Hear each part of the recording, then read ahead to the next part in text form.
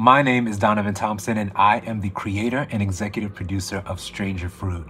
And I'm really lucky because I have William Stallings and Donnie Claremont with me as my co founders and superstar producers. So, Stranger Fruit is really rooted in this idea from the song Strange Fruit of Black protest.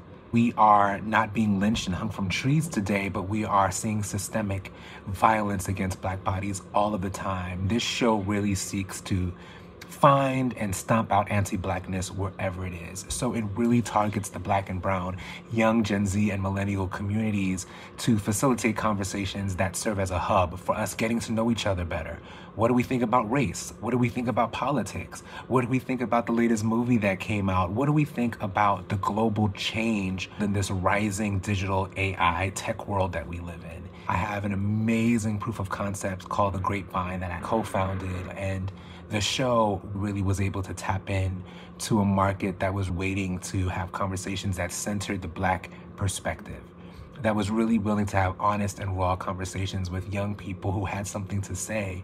And we were able to take that conversation from our little studio in New York to the UK, to Ghana, to Johannesburg. We were able to really impact culture.